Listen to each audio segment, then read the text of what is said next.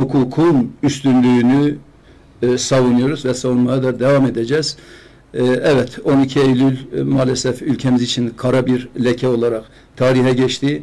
Ama e, bir üzüntümü daha da burada paylaşmak istiyorum. Tabii ki efendim. 12 Eylül e, darbecileri e, maalesef yargılanmadan, cezalanmadan da bu dünyadan birçoğu göçtü, gitti ve birçoğu da şu an e, göçmek üzere.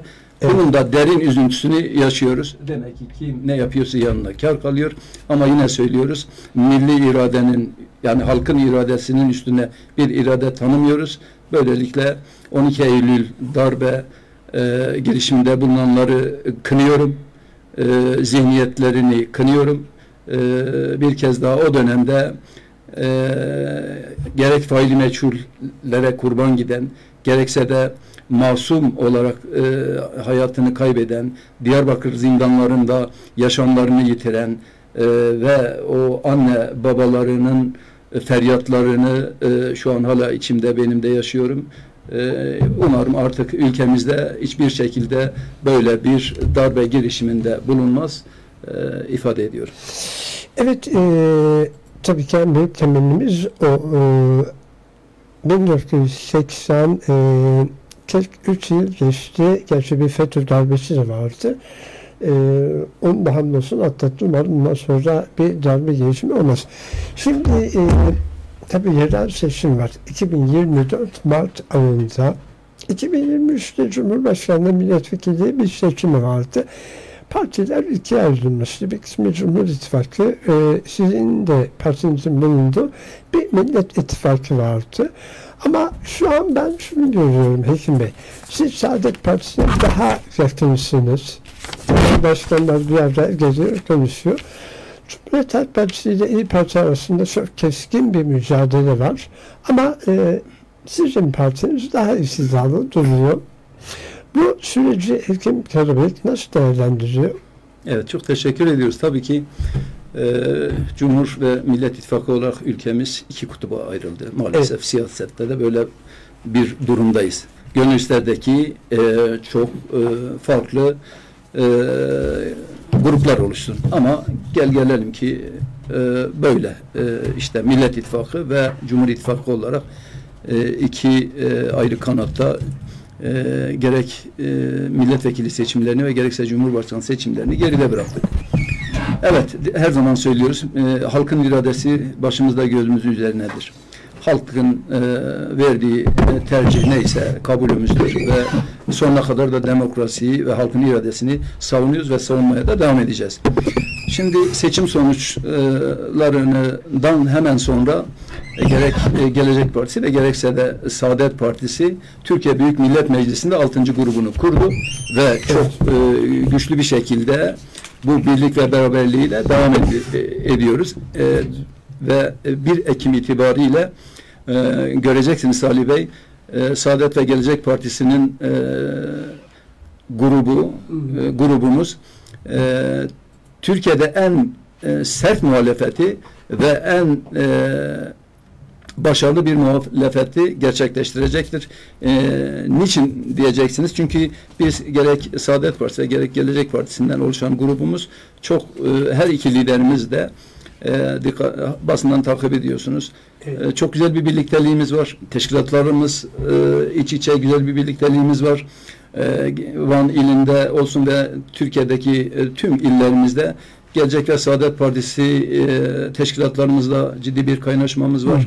Ve bu kaynaşmamızı da inşallah önümüzdeki e, 2024'teki e, yerel seçimlerde de bunu perçinleştireceğiz ve e, ciddi anlamda belediye e, başkanlıkları alacağız, kazanacağız ve belediye mesuliyetleri, ilgili mesuliyetleri ve belde belediye başkanlıkları büyük e, küçük şehirler için söylüyorum Evet. kazanacağız. Yani hedefimiz e, inşallah e, yaklaşan yerel seçimlerde e, Saadet ve Gelecek e, ittifakını e, yerel seçimlerinde çok güçlü bir e, başarı elde edeceğine inanıyoruz. Evet, e, yine e, Türkiye siyasetine dönecek olursak Meral Akşener'in geçenlerde yaptığı bir açıklama vardı. E, Meral Akşener diyor ki ben mesela tek edecektim ama Ahmet Davutoğlu ortamı toparladı. böyle bir açıklaması var. E, bu süreçte de Ahmet Davutoğlu böyle bir misyon üstlenir mi? Evet. Takdir edersiniz e, yani Türkiye'nin gözü önünde cereyan eden bu olay e, Sayın Akşener'in masadan yani altılı masadan iddetlenip kalkması e, bir anda Türkiye'nin gündemine oturdu. Gündeminin de en önemli konulardan biri oldu.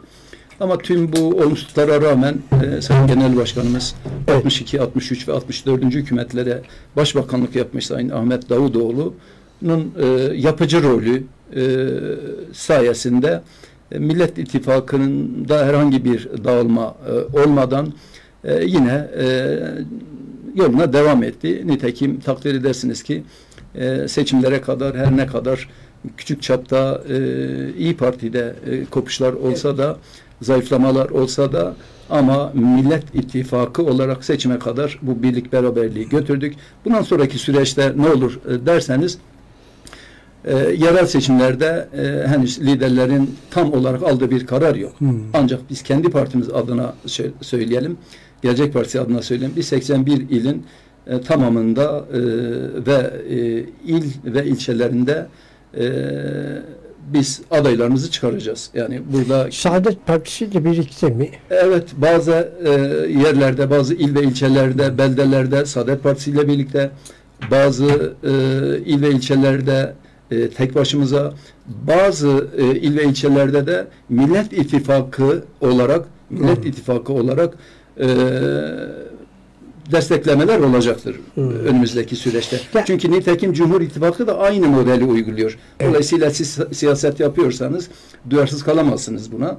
Siz de ona göre argümanlarınızı geliştireceksiniz ki sonuçta siyaset bir hamledir, siyaset bir hedeftir. O e, hamleleri iyi e, gerçekleştirmezseniz hedefinize ulaşamazsınız.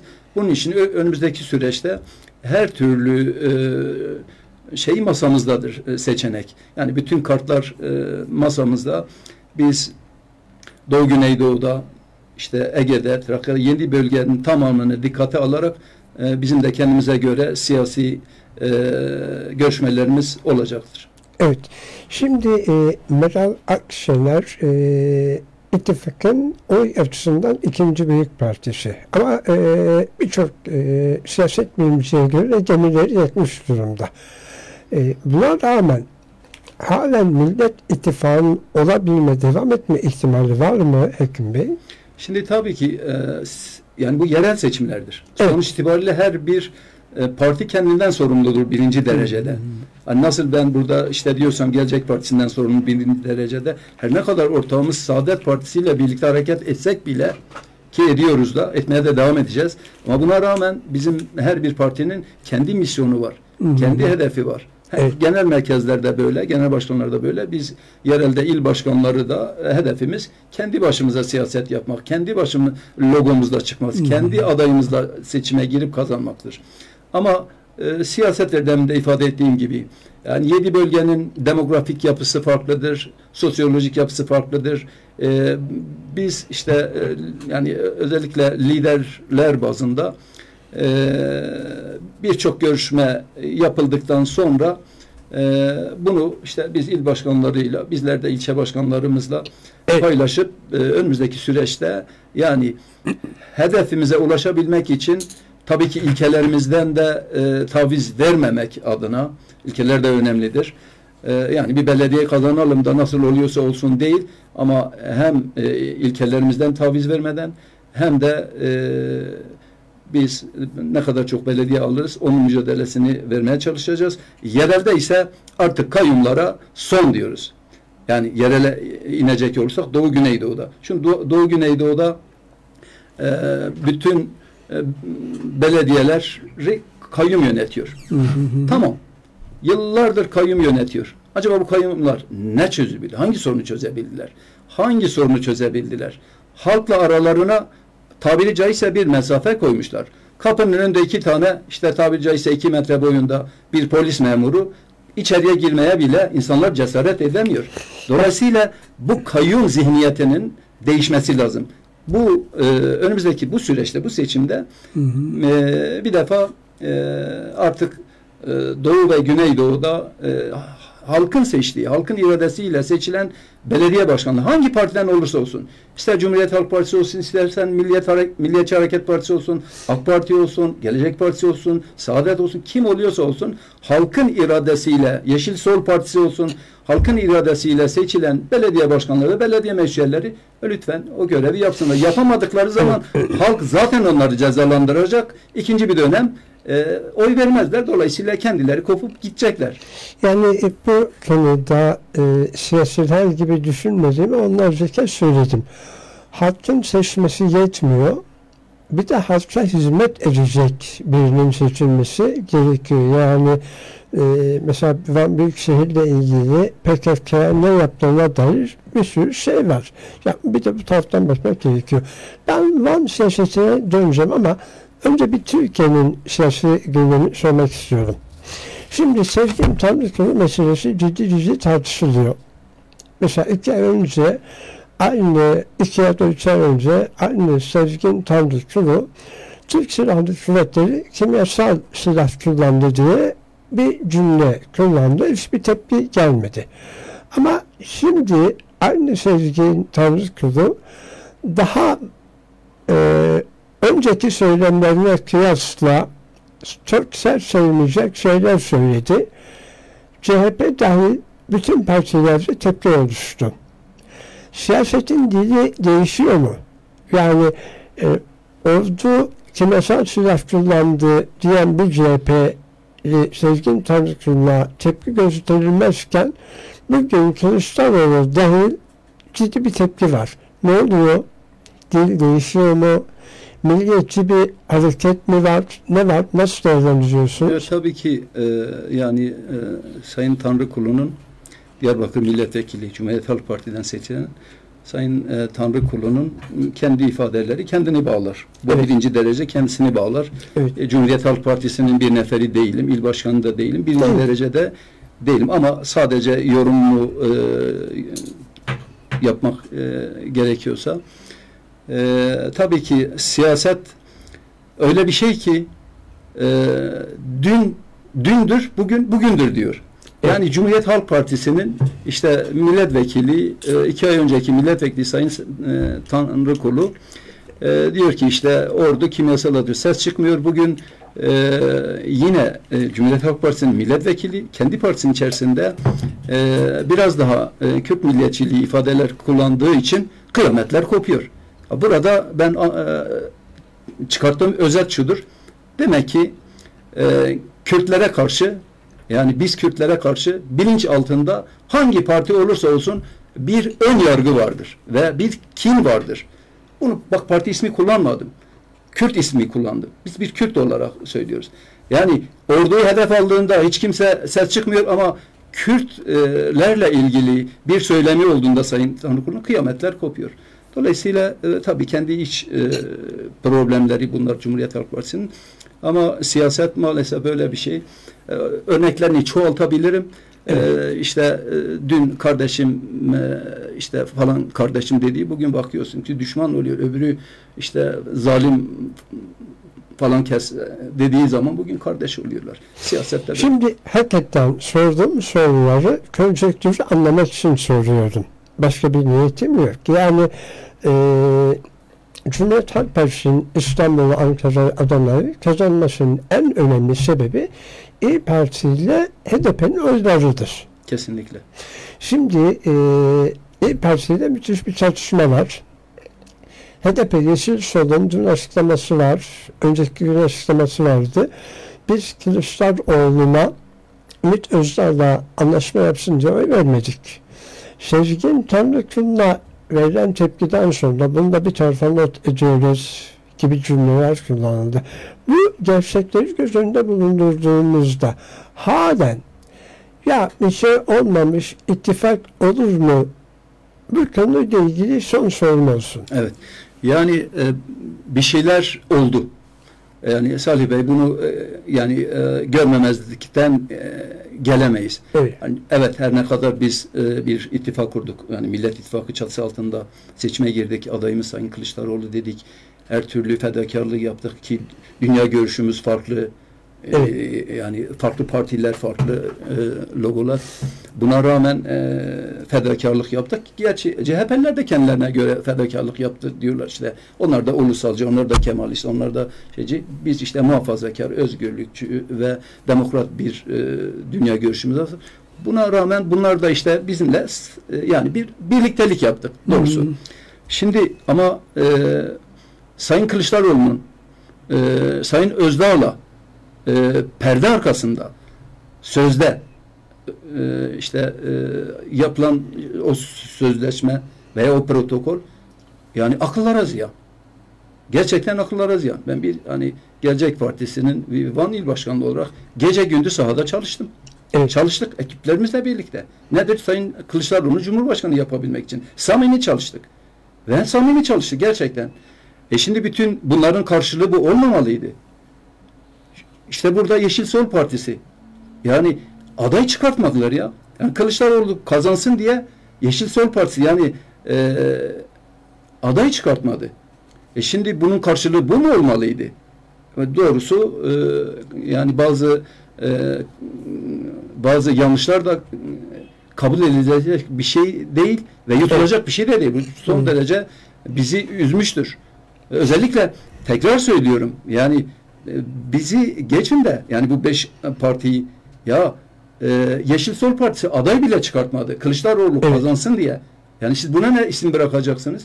E siz de işte e, Özdağ'ın e, Ümit Özdağ'ın söylemleri ortadadır. Yani aşırı bir işte e, ırkçılık, bir Kürt düşmanlığı, bir ırk düşmanlığı e, almış başına gidiyor bu adam. Şimdi böylesi bir insan arkadan gelip e, İçişleri Bakanlığı sözü vermek ve ayrı bir protokol imzalamak bu kabul edilecek bir durum değil.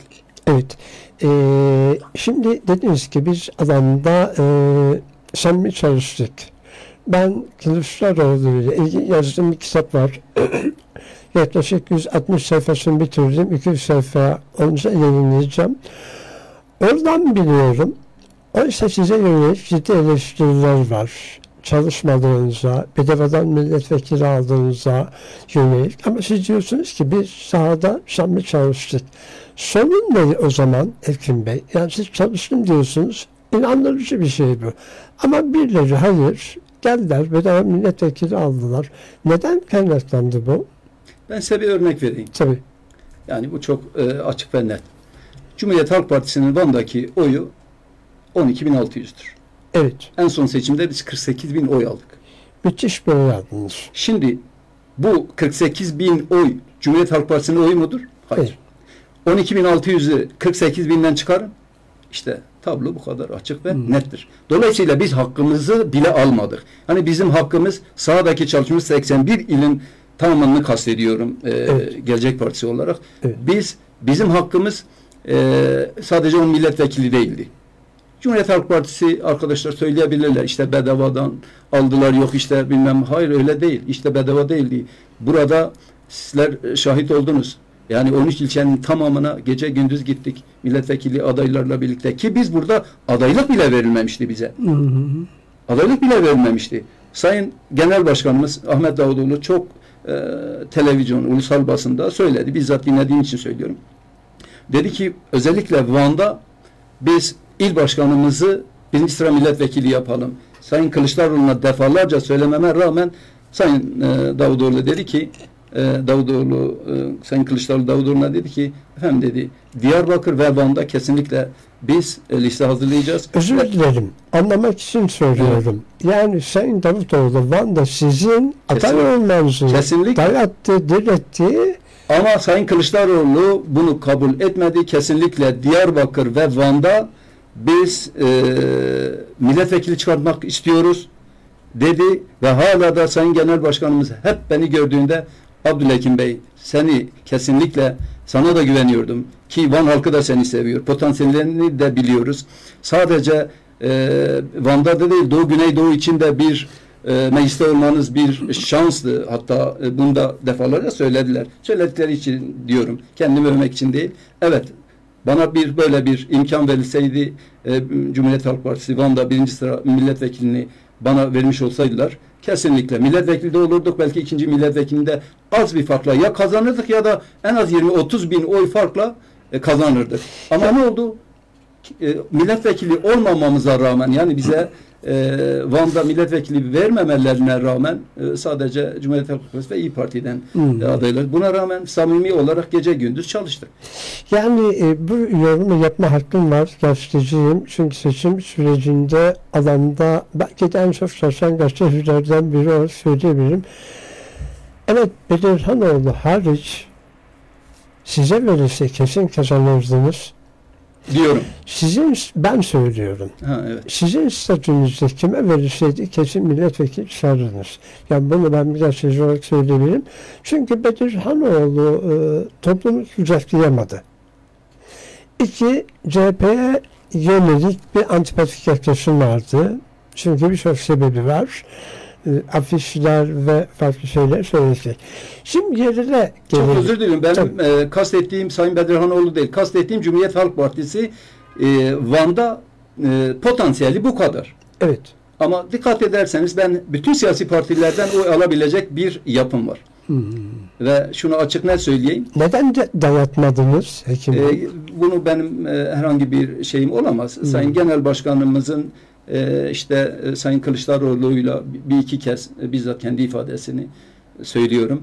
E, Abdülhakim Bey senin için çok üzüldük. Çünkü gerçekten hem büyük emeklerin gayretlerin olduğu ve hem de çok rahat kazanabileceğin bir e, Van'da çok rahat kazanabilecek bir e, şey vardı. Yani bir fırsat vardı, imkan vardı. vardı.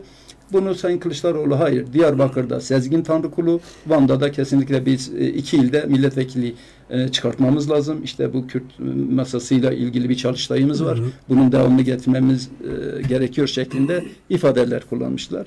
Hayırlı, hayırlısı olsun. Evet. Biz samimi olarak çalıştık mı? Çalıştık. E, şu an e, Gelecek Partisi olarak 10 milletvekilimiz var. Kimse kusura bakmasın. Bizim aslında kendi logomuzla girmiş olsaydık biz e, sadece 10 milletvekili değil daha fazla milletvekili çıkaracağımıza kesinlikle e, grubumuzu tek başımıza kuracağımıza inanıyorum. Evet. Şimdi biraz da Van'a geleceğim. Çünkü Türkiye bir girişte içinden çıkamayacağız. Şimdi Van'da oy oranı açısından e, HDP birinci, AK Parti ikinci, sonra sıralama geliyor.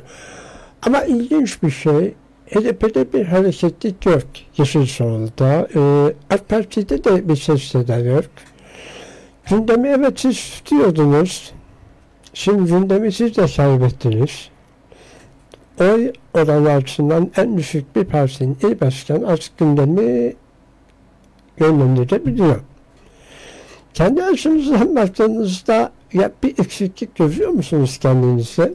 Şimdi e, Salih Bey aslında çok doğru bir e, e, gündemi çok iyi takip ediyorsunuz. Ben de dobra bir siyasetçiyim. Evet. Şimdi bende yalan dolan olmaz. Neyse Evet. odur. Aynen. Onu söylerim. İçimden geçtiğini söylüyorum. Tabii. Şimdi doğru. Yani e, bizim beklentimiz yani 28 e, Mayıs'taki beklentimiz seçimlerde Cumhurbaşkanlığı kazanmak, Cumhurbaşkanı yardımcılarını elde etmek, bakanlar kurulunu işte e, içimizden içimizdeki milletvekillerinden oluşturmak, parlamenter sisteme geçmek kademeli olarak böyle bir hedefimiz vardı. Ha olmadı. Doğal olarak olmayınca yani ister istemez sadece bizde değil muhalefet partilerinin tamamında bir durgunluk vardır. Ama e, mesela bahsettiğiniz için söylüyorum. Cumhuriyet Halk Partisi ile ve İyi Parti'de biraz daha kızışma var. Bir e, farklı bir e, hesaplaşma var. Onların iç işleyişi. Bizde Evet, ise var. bir moral bozukluğu var. Dürüst olmamız lazım. Ha siz şu an bir moral bozukluğu yaşıyorsunuz. Seçimden hemen sonrası için Evet, söylüyorum. tamam. Doğal olarak beklentimiz işte e, Cumhurbaşkanı olması, Cumhurbaşkanımızın, ortak Cumhurbaşkanımızı seçmek, e, parlamenterde güçlü olmak, e, dı, dı, dı. Ama şimdi gel gelelim e, yani seçmenin dedik ya milli iradeye daima saygılıyız. Seçmenin kararı buysa serseran serçavan diyeceğiz. Evet. Onun için biz artık e, bu e, şeyden çıkmamız lazım. Önümüzde yerel seçimler 6 ay kaldı. Ve yine de e, diri bir teşkilatımız var. e, birçok e, ilçeler için daha Van'da e, adaylık için bize gelip ön görüşme yapanlar vardır. Hı hı. E, yani göreceksiniz e, burada e, yerel seçimlerde e, siyaset canlanacak seçimler öncesi. Bütün partiler için söylüyorum. Tabii ki HDP burada Van'da güçlü bir parti. Evet. E, ikinci sırada e, işte e, AK Parti geliyor. E, geçmiş seçimlere baktığımızda. Ama o denklemi biz bozacağız bu sefer. Yerel seçimlerde o denklemi biz bozacağız. Nasıl bozacağız? Şimdi her iki partiden de oy alacak bir e, seçmen kitlemiz vardır. Hmm. Dolayısıyla e, önümüzdeki e, süreçte inşallah nasip olur yine davet edersiniz geliriz. E, bunları konuşuruz. E, ilçe ilçe konuşuruz. Yani e, ama bu aşamada e, seçime e, yeniden işte e, o moralimiz e, o demoralimizi bir tarafa bırakıp e, yine teşkilatlarımızla kısa süre içerisinde hemen kongrelerimizi yapacağız bu yıl içerisinde. E, malum e, şunu da eğer müsaadeniz varsa Buyurun, tabii ki. E, sizler aracılığıyla biz yaklaşık dört yıldır e, beş yolda e, hizmet verdiğimiz e, Gelecek Partisi İl Başkanlığımızı sözleşmemiz gereği e, hmm. e, evet bina sahibiyle sözleşmemiz gereği e, biz yeni adrese taşınıyoruz. Yeni adresimiz e, hemen Cumhuriyet Halk Partisi, İyi Parti ve e, Hüdapar e, partilerinin il başkanlıklarının e, yanındadır. E, adresimiz belli. Çok merkezi bir yer. Çok e, inşallah yine partimize, vatandaşlarımıza, teşkilatlarımıza e, e, rahat edebileceği, halkımızın çok rahat gelip e, ziyaret edeceği merkezi bir yerde il başkanlığımızı yapıp hizmetimize devam edeceğiz ve en önemlisi e, bir 15 gün içerisinde tamamlayıp e, Eylül ayında bütün ilçe kongrelerimizi gerçekleştirip il kongrelerimizi yapıp Aralık ayında Ankara'da e, büyük kongremizi gerçekleştireceğiz. E, süreç, Van'daki süreçte böyle devam ediyor. Evet. E, tabii e, iddialı bir kelime, cümle kullandınız. Van'da dengeyi değiştireceğiz. Yalnız mı Saadet Partisi ile birlikte mi?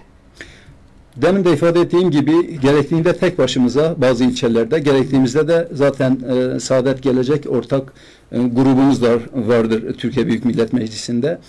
E, bazı ilçelerde de e, diğer Millet İttifakı'nın partileriyle ortak aday çıkararak e, devam edebiliriz. E, Millet İttifakı'nda olmayan partilerle de özellikle e, Van özelinde e, siyasi görüşmelerimiz e, olacaktır. Yani bu e, onun için bu seçim dediğim gibi e, denklemleri değiştirecek bir seçim olacak. Hmm. Ya siz şunu anladım ben. Yani sadece siz ve Saadet değil, diğer partiler Gerektiğinde evet birçok partiyle de görüşmelerimiz olabilir. Hmm. Peki millet, cumhur fark ediyor mu? Yani e, zaman gösterecek onu da. Yani olabilir mi, olamaz mı? Yani siyasette her şey olabilir. Bekleyip görmek lazım. Siyasette her şey olabilir. Evet. Şimdi e, tabii Van siyaset demin bir kayyumla başladınız. Çok sert sözcük kullandınız. E, bu sert sözcüğünüzü bütün kayyumlar için mi kullandınız yoksa Van için mi? Van için ise büyükşehir mi, belediyeler mi? Yani bu e,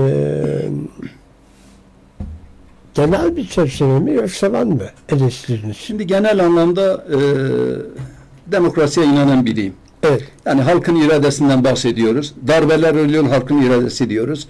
İşte baş kaldırır halkın iradesi diyoruz. Milli irade diyoruz.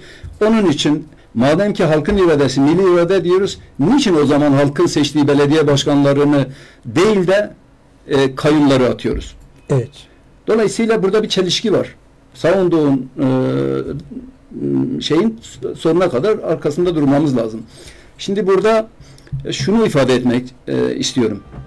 Evet, geçmişte yanlışlar yapıldı. Yıllar önce işte e, Halkların Demokrasi Partisi belediyeleri kazandığında 10 yıl oldu kayyumlar burayı yönetiyor. O, o dönemlerde yanlış olmuş olabilir, yanlış adaylar olabilir, yanlış belediye başkanları olabilir, yanlış belediye meşruyeleri Evet. olabilir. Yani ülken, ülkenin 10-12 yıl öncesinden bahsediyoruz. E, şimdi ge- gelinen noktada e, şimdi eğer ki sadece hayır işte Yeşil Sol Partililer olmayacak e, deniliyorsa arkadaş o zaman Yeşil Sol Partisi'ni seçime almayın. Eğer ki kayyum atayacaksanız seçildikten sonra o zaman niçin e, adayı çıkarıyorsunuz? Adayı da çıkartmasınlar. Kapatın gitsin. Dolayısıyla benim e, ifade etmeye savunduğum şey bu. E, eğer ki e, işte Yeşil Sol Partisi'ni veya herhangi bir partiyi Evet. belediyeyi kazanıyorsa, belediye meclislerini kazanıyorsa bırakın o yönetsin. Yönetemediyse halk zaten ikinci bir dönem e, zaten o fırsatı vermez. Eğer hizmetlerinden memnun değilse, eğer ki uyumlu çalışma, adil bir çalışma, e, herkese eşit bir hizmet vermiyorsa vatandaş zaten vermez. Dolayısıyla bunu kayyum eliyle değil, seçmen bırakın belediye başkanlarını cezalandırsın. İstemediği belediye başkanı ikinci kez zaten aday göstermez. Dolayısıyla e, ben savunduğum budur. Ha Evet. ilk dönem kayyumları güzel hizmetler yaptılar. İlk dönemi kastediyor. Ondan sonraki dönemler kayyumlar bozuldu. Her türlü usulsüzlüğe girdiler, e, yolsuzluğa girdiler. A- a- a- e, yani kay- Ama genel bir suçlama yapıyorsunuz Evet. şimdi. Haliyle bütün kayımları zan altında bırakıyorsunuz. Ee, bu da bir haksızlık değil mi? şimdi bak ilk dönem kayyumlarını söylüyorum. evet. İlk dönem kayyumlarda olağanüstü güzel hizmetler yaptılar. Hı hı. Özellikle Van'ı kastediyorum. Ve burada da e, gerçekten mesela e, gittiğimiz bütün ilçelerde ya gerçekten değiştirdiler. Ama ondan sonraki kayyumlar nasıl olsa yani hesap vermemezlik var. Nasıl olsa kayyumuz. istediğimiz gibi işte e, bunu işe alırız. istediğimiz personel adam. İl dışında sanki Van'da bürokrat yoktur. Kayyum geliyor. Geldiği zaman da kendi ekibini getiriyor buraya. Peki o zaman şunu şey mu? Allah soracağım. aşkına Van'da öyle teknik personel yok mudur? Yani bu nedir? Adam kadrosunu, ekibini alıyor, geliyor buraya kayyum olarak ve buradaki bürokratlarını da pasifize ediyor. İstediği gibi işleyişi eline alıyor. Dolayısıyla bizim işte onun için diyoruz kayyuma hayır. Yoksa kayyumun yaptıkları hizmetlere, iyi yani kayyumların yaptığı güzel hizmetlere elbette ki minnettarız, teşekkür ediyoruz. Ama yeter. Hani beni bağışlarsanız ya bir gazeteci olarak mesela ben bugüne kadar duymadım. İyi Parti'den, sizden, e, DEVA'dan, Cumhuriyet Halk Partisi'nden şunu duymadım. Ya eğer yaptıysanız söyleyin ben özür dileyim işte. Bu kayyumun yaptığı bu hareket yanlıştır gibi bir eleştiri duymadım. Sadece kayyuma karşı e, böyle genel bir suçlama yerine işte kayyum bunu yaptı, bu bunu yaptı. Daha doğru olmaz mıydı Ekim Bey? Ben size ifade edeyim. Tabii ki. Şimdi niçin kayyum diyoruz? Ya sonuçta kayyumlar da bir, yani e, hizmet için. Amaçları hizmet. Evet. Ama kayyum memurdur. 657'ye tabir memurdur. Adam diyor kardeşim bana bir görev verilmiş. Hiç Evet. kimse benimle muhatap olmasın. Ee, dolayısıyla ben bildiğimi okurum tabiri caizse. Evet. Ama seçilmiş belediye başkanı öyle değil. Ne diyor? Diyor ya ben buna hizmet götürmezsem, ben bunun kapısındaki çöpü almazsam, ben eğer ki işte e, A köyüne, B köyüne eşit e, olarak hizmeti, parke taşını, suyu, kanalizasyonu vesaire götürmezsem bu adam yarın beni seçmez. Peki- Kayyumun öyle bir kaygısı yok. Ekim abi yani beni bağışlayın. Çünkü ben adil olmak zorundayım. Evet. Önceki belediye başkanları PKK'ya hesap veriyordu. Hatta bir diyalog yoktu. Evet. Yani bu kayyumun en azından bir hesap verdiği bir mevzu var. Yani önceki belediyeler döneminde evet biz belediyeleri alınmıyorduk. Yani önceki belediye başkanları da öyleydi. Yani onlar da vatandaşı düşünen, hizmet yapan yani bir Edremit Belediyesi'nin yaptığı hizmeti yani beni ne olur bağışlayın. Evet. Hiçbir partinin belediye başkanı yapamazdı. Edremit'teki o pisliği kaldıramazdı. Evet. İleri biyolojik arıtma tesisini hiçbir parti yapamazdı. Yapamazdı. Çatı atı hiçbir parti yapamazdı. Yani bunlar da kayyumun yaptığı güzel işler. İşte söyledim ya ilk dönemin kayyumları. Evet. Sayın Atif Çiçekli'den bahsediyorsunuz. Evet. Hala da görüşüyorum ve kendisini tebrik ediyorum. Evet. Edremit'i gerçekten Edremit yapan o kayyumdur. İlk dönemin kayyumudur. Salih Bey ben vicdan sahibi bir insanım. Evet. Bak gerçekten ne söyledim? Kayyuma karşıyız ama ilk dönem e, kayyumların yaptığı hizmetleri sonuna kadar hizmetlerinden dolayı kendilerine teşekkür ediyoruz. Çünkü Evet. bize hizmet yaptılar. Tabii. Çehresini değiştirdiler. İlk dönemi kastediyorum. Ondan sonraki Allah razı olsun dedik. E bırakın artık seçilenler yapsın. Eğer seçilenler bu işi yapamıyorsa, eğer ki seçilen arasına terörle mesafe koymuyorsa biz ona da hayır diyoruz. Evet. Kesinlikle bir seçilmiş kişi terör arasına mesafe koyacak. Bu bir. Tabii. Çünkü e, onun kendi partisi e, veya e, e, yani kendisi bir defa halkla arasını iyi tutması lazım. Tabii Halk ki. adamı olması lazım ve Tabii. hizmet adamı olması lazım. En önemlisi o belediye başkanına teslim edilen emanet beytülmaldır. Evet. Yani bunu bilmesi lazım. Yani beytülmal nedir? Yani genel herkesin malıdır o e, belediyenin malı ve beytülmaldır. Dokunulmazdır yani. Onun bir defa e, bilincinde olması lazım. E, yoksa biz e, örneğin mesela diyelim ki hangi partiden olursa olsun yarın eğer ki e, yine terörle arasına mesafe koymazsa, yolsuzluğa bulaşırsa, kendisinin işte zimmetine e, bilmem işte e, menfaat geçiriyorsa gayet tabii biz buna da karşıyız. Olmaması Evet. gereken. Ama en önemlisi şimdi tamam anladık.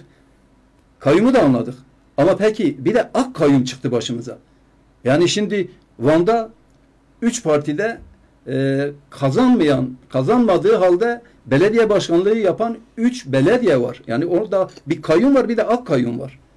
Şimdi olmaması lazım. Biz eğer demokrasiye inanıyorsak, insan haklarına inanıyorsak ve bir hak, hukuk, adalete inanıyorsak en önemlisi biz gerçekten adil olmamız lazım. Ben yerel seçimlerde, bu önümüzdeki yerel seçimlerde denklemlerin değişeceğini, Yeşil Sol Partisi'nin de çıkaracağı adayları iyice bir gözden geçirmesini düşünüyorum. Artık eski e, e, kimi bırakırsak o olur. Yok işte şu değil. O, o sistem gitti.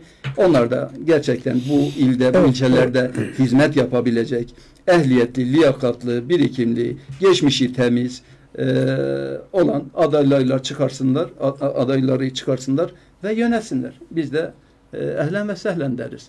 Evet yani e, tabii ki e, halkın seçti, halka hizmet etmek zorunda. Şimdi e, tabii Van'la ilgili eleştiriler var. E, biz üç ayrı yerden mesaj alıyoruz. Hmm, sizi beğenenler de var, beğenmeyenler de var. Bu insan doğasında olan bir şey. E, tabii çok özelleştirmek istemiyorum da yayını. Tamam çevre yolu iyi gidiyor. İşte stat dedik, şunu dedik, bunu yıllardır söylüyoruz. Ama şimdi müthiş bir trafik sorunu var. Mesela bu siyasetin iş gündeminde değil. Ya müthiş bir trafik sorunu var. Yani bunu çözebilecek, üretebilecek, ne olabilecek? İki, e, sizin şahsınıza söyleyeyim. Nasıl bir belediye başkanı modeli aday olmalı? Evet. Bir öncelikle trafik sorunu. İşler Evet. arası bir manzara. Müthiş bir sorun. Yani e, Salih Bey 2011'de hatırlarsınız deprem olmuştu. Evet. Ve e, işte o dönemden bugüne kadar 6 tane Çevre ve Şehircilik Bakanı değişti. Tek tek isimlerini sayabilirim. Ve her gelen Çevre Şehircilik Bakanı'nın verdiği ilk mesaj, ilk müjde çevre yolunu yapacağız, bitireceğiz mesaj verdiler, müjde verdiler, gittiler. O bakan ömrü yetmedi, gelen bakan hemen soluğu Van'da aldı ve ifade şu. Müjdeler olsun işte yeni bakanımız çevre yolunu bitecek. Altı bakan bitti, çevre Van çevre yolu bitmedi. Çile yolu bitmedi. Dolayısıyla şehri rahatlatabilmek için öncelik nedir Salih Bey? Çevre yolunun olması. Şimdi Evet. şehirlerden geliyoruz. Ya Allah aşkına ya bakıyorsun Tatvan'ın bile çevre yolu oldu. Tatvan. Evet. Bitlis'in bile çevre yolu var. Daha ne olsun? Abi ama Van'da çevre yolu yok bir türlü bitmedi. Şimdi başkanım bir şey diyeceğim bana yine tepki göstereceksiniz. Asla hiçbir partiyi savunmuyorum. Çevre yolu olmak zorunda. Ama ben size bunu desem ben tepki gösterebilirsiniz ama işin doğrusu ne olduğunu söyleyeyim. Van'daki çevre yolunun bugüne kadar durmasının en büyük sebebinin ben emlakçılar olduğunu dersem siz bana inanmayacaksınız. Şimdi çevre yolu üzerinde 20'den fazla ne 20'si 80'den fazla dava vardı. Evet. Emin Bilmez Allah ondan razı olsun insanlarla bir bir görüştü. Evlerine gitti, ricada bulundu, durumu izah etti. Şu an Özalp yolu müthiş derecede ilerliyor. Gördüğünüzü mü bilmiyorum. Şimdi kimse babasının hayrını yapmıyor. Evet. Hekim Bey. Yapmak zorunda. Ama biraz da bizim de hatamızı görelim. Bir emlakçı 3 liradan fazla para kazanabilmek için bütün insanları örgütleyip herkese dava sürdüler. Evet, Emin Vali gibi bir de gelmemişti bana. Neden? Çünkü gitti adamın evinde oturdu. Çayını içti, muhabbet etti, ikna etti. Bunu keşke bizim siyasiler yapsaydı, iktidarımız yapsaydı ya da Van'daki iktidar HDP yapsaydı ama yapamadık. Şimdi son soruma doğru geliyorum. Van'da e, farklı bir parti gündeme geldi. İsmini vermeyeceğim. Dediği şey şu. Kayyum istemiyoruz. Siz aylardır ve yıllardır bunu söylüyorsunuz. Neden siz manşet olmadınız onlar oldu? Ben önce bir trafik sorunu içimi rahat edeyim Salih Bey. Tabii buyurun. Bir buçuk milyon günlük sirkülasyonu belki bir buçuk milyondan daha fazla olan bir Evet. kentten bahsediyoruz. Evet. Yani şimdi e, trafik sorunu hele ki dünden beri işte gördüğünüz okullar açıldı. Çocuklarımız Felaket. gece yarısı e, karanlıkta çıkıyorlar sokağa. Trafik yoğun, hasta, ambulans bile ambulanslara bile artık e, e, ambulansların bile hastaları acil götürecek imkanları kalmadı Van'da. Tabii. Ha şimdi diyoruz işte burada bu kadar yıldır işte altı Çevre Şehircilik Bakanı değişti ama çevre yolu yapılmadı, bitmedi. Tamam Emin e, Sayın e, Valimiz Emin Bilmez Bey gerçekten kaliteli bir valimizdi. Evet. Evet. E, halk tamamen halk tipi bir yani halk çocuğuydu. Bu bölgenin insanı. Evet. Ha, şimdiki Sayın Valimiz de bu bölgenin insanı Ardahan'dı.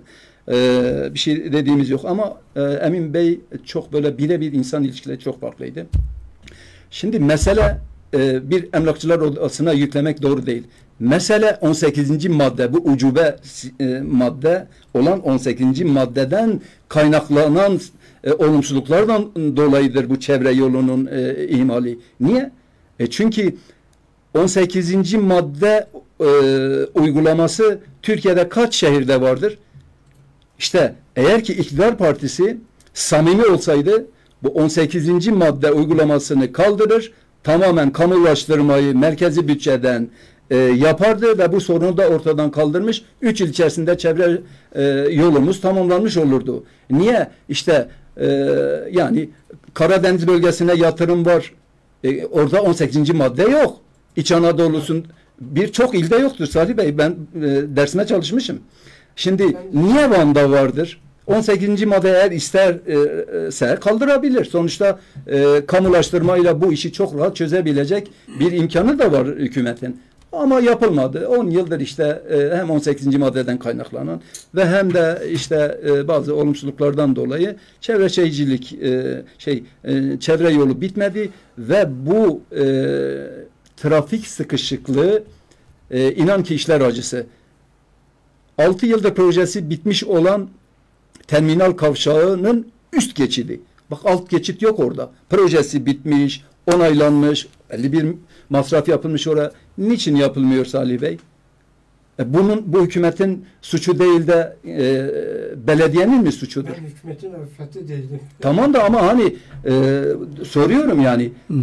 Dolayısıyla e, o ciddi bir e, sıkışıklık var o bölgede. Var, var. Alternatif yolların yapılması lazım. Var. Bunun için demin söylediğin soruların içerisinde nasıl bir belediye başkanı olması lazım?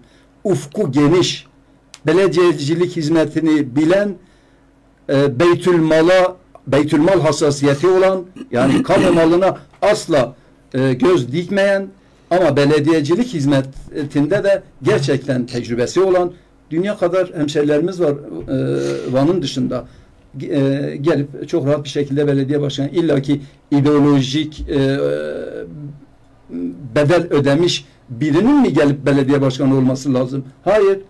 Çok e, rahat söyleyebiliriz. Bugün e, Türkiye'de çok önemli yerde Vanlı hemşerilerimiz. Gelsinler. Van Büyükşehir Belediye Başkanı da olsunlar. E, ilçelere de belediye başkanı olsunlar. Ve bu sorunu çözmek için her türlü fedakarlığı yaparız. Gelsinler müracaat etsinler. Aday yapalım ve seçelim de. Şimdi e, benim yaptığım çalışmalarda Büyükşehir'i büyük bir ihtimalle HDP alacak. Ve çalışma sonucu bu. Ama yarın bir seçmen verir mi vermez mi bilemem.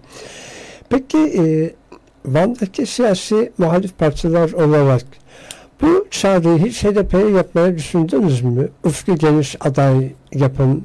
Mesela AK Parti'nin kazanma ihtimali zor gözüküyor. HDP'nin kazanma ihtimali daha kolay. Yani böyle bir çağrınız oldu mu? Olur mu? Düşündünüz mü? Ben işte televizyonunuz ve radyonuz aracılığıyla tekrar tekrar yapıyorum. Sosyal medya hesaplarımıza, toplantılarımızda zaten dile getiriyoruz. Tekrar söylüyorum. İster HDP olsun ama tabii ki HDP'nin e, büyük şehri alma ihtimali çok yüksek. Yüksek. Olduğu için söylüyoruz. Evet. Burada tekrar sizin aracılığınızla söylüyoruz. Lütfen e, belediyeci yani belediyecilikte pişmiş, tozunu yutmuş, özellikle e, ufku geniş, Van gibi e, sorunları yani e, altyapı sorunu, üst yapı sorunu, işte e, sorunlu çözülmemiş olan daha hala büyük ölçüde çözülmemiş olan bir Van'dan bahsediyorlar. Bunun için ehliyetli, liyakatlı, bilgili, birikimli, vizyon sahibi olan e, adayları e, yani adaylardan aday e, seçsinler. Yani bu tür Evet. insanlara ihtiyacımız var. Herkes gönül rahatlığıyla oy verir. Hiç e, pa- yani daha önce HDP'ye oy vermemiş bir insan bile eğer o adayı gerçekten bahsettiğimiz kriterlere e, sahipse işte ehliyet, liyakat, bilgi, birikim, vizyon falan çok rahat bir şekilde e, oy verir. E, Çünkü niye? Kentinin daha iyi yöneteceğine inandığı için. Yani aday profili çok önemlidir. Partiler üstü bir durumdur bu seçim. Yani aday profili iyiyse, güvenilirse e, partisi çok da ikinci plandadır. Hmm, önemli olan güvenilir adaydır. Şimdi e, tabii dediğim gibi birçok yorum değerlendirme var ama vakit problemimiz var. Toparlayarak bitirecek olursak. Şimdi çevre sorumlusu konuştuk, stadyum konuştuk, e, otogarı konuştuk, birçok şey konuştuk. Bunun dışında sizin ya arkadaş Van'ın böyle bir sorunu var dediğiniz farklı bir şey var mı Hekim Bey? Ya Salih Bey, var ki ne var? Yani Van tabi caizse bir sorunlar yumağı. Herkes bürokrat, buraya gelen bürokrat ne yapıyor? Yani gününü geçiriyor. Yani gerçekten gününü geçiyor. Ha, Hangisi? canla başla çalışanlar da var ama birçok önemli bürokrat gününü geçiriyor. Şimdi burada elini taşın altına bırakacak olan bürokrat lazım bize. Yani tamam İlde İktidar Partisi'ne mensup iki milletvekili var. Ama e, yani her şeyi bu iki milletvekiline de yüklemekle e, doğru değil. Ya şimdi işte ilin valisi var aynı zamanda Büyükşehir Belediye Başkanı'dır. Yani bu iki milletvekiliyle birlikte e, bakanlıklarda çözülmeyecek e, sorun e, bırakırlar mı eğer birlikte hareket ederlerse? Bırakmazlar. Yani biz çevre yolundan bahsediyoruz. Bu çevre yolunu e, belediye başkanları e, yapacak değiller. Bu merkezi hükümet ve kimdir? İşte e, İktidar Partisi'nin Ama emin ben sözlü. Ve ben olan şehidim. Çevre yolu bugün ilerliyorsa Evet. bunun en büyük müsebbibi Emin Bilmez'dir. Mehmet Emin Bilmez'dir. Evet. Çünkü gidip insanları ikna etti. Onlar davadan vazgeçtiler. Haliyle biraz da yerelin de çaba sarf etmesi gerekmiyor mu Hekim abi? E, Elbette ki abi. Şimdi bak e, Mehmet e, Mehmet Emin Bilmez Bey'i 2014 yılında tanırım. Evet. Vanlılar tanımadan çok öncesini. Hı. 2014 yılında aynı zamanda Mehmet Emin Bey e, Mali İdarlar Genel Müdürüydü. Genel müdür. Van'ın büyük şehir olmasındaki e, ustası, mimarı yani Van 2014'te büyük şehir oldu ya 2013 ile 14 arası bu şeyler yapıldı. Emeği var. Van'ı biliyor. Ve Van büyük şehir yapılanmasında da işin mutfağındaydı. Hmm. Şimdi dolayısıyla o işi bazı hassasiyetleri biliyordu. Ee, e, belki bazı siyasi o dönemin siyasi çekişmelerinden olmasaydı gerek bu üç ilçe Tuşba, İpekyol ve Edremit ilçelerini de daha farklı bir düşüncesi vardı. Güzel manada diyorum. Ama böyle nasip oldu. Şimdi e, tabii ki e, dediğim gibi e, özellikle bu Van'daki sorunlar çözülsün de hani dedik ya kim çözüyorsa çözsün biz artık partisinden de vazgeçtik makamından da vazgeçtik size bir örnekle vereyim Allah aşkına saat saat 5'te Aksa'da bir kuyruğu görün doğalgaz. Ben yazdım. Ben yazdım. İçler acısı bir manzara var. Oraya gittim. Oraya gittim. Muhatap bulamıyorsun ve içeriye bile almıyorlar. O insanlar gece abone e, yapmak için vatandaşlarımız evet. vatandaşlarımız abone yapmak için gecenin bir saatinde geliyorlar oraya çünkü numara alacaklar ya. Evet. Numarayı alabilmek için bir an evvel işte işlemi yapılması için adam geceden çıkıp geliyor oraya. Yaşlı, emekli, genç, e, bayan ya böyle bir şey olamaz. Daha en yakın e, tarihte yani bir ay bile geçmedi. Sayın Bakan işte Enerji Bakanı bana geldi. Bu konu kendisine iletti. Ne dedi? Müjde verdi. Müjde, müjdeler olsun. Dedi ki biz e, bu e, rezaleti gördük. Bu sitemler bize iletildi. Biz Van'da ikinci, üçüncü şubeleri açacağız. O mağduriyet yaşanmasın. Ne oldu bakan bey? Nerede bakan? Nerede şube? Nerede yetkili? İnsanımız orada işte görüyorsunuz e, işler arası bir manzara var. Yani bunların dediklerinin hepsi yalan. Sabah yalan, akşam yalan. Yani şimdi büyük bir kitle söz hakkı doğurdunuz. Yani, yani, yani öyle bir kitle. Son sorum da bu olsun. Burada yani e, Aksa burada. Bugünkü en son işte paylaşımları bile size göstersem 300-500 kişi kapının önünde sabahın erken saatlerinde. Ee, ya bu Allah'a reva mıdır? Şimdi Van'da Aksa yazan, Vaski yazan Nadir Gazeteciyim. Evet. İkisinin de zulmettiğini söylüyorum. Evet. Vaski son sözüyle bilinir. Yani oradaki müdür hakikaten tecrübesiz, yeteneksiz insanlara saldıran bir müdür. Ama bu tarafta şirket var. Aksa e, yani benim versiyonum ama milletvekili de takmıyor. Niyetinde bağımsız bir firma. Müessesesi de takmıyor. Aslında evet ona iyi bir ceza vermek lazım. Merkezi hükümet tarafından iyi bir ceza vermek lazım. Bir haddini bildirmek lazım. Siz bakana ölçülebilirsiniz, hakkınız. Ama ben bakanın bile sözünü geçiremediği bir yerden bahsediyorum.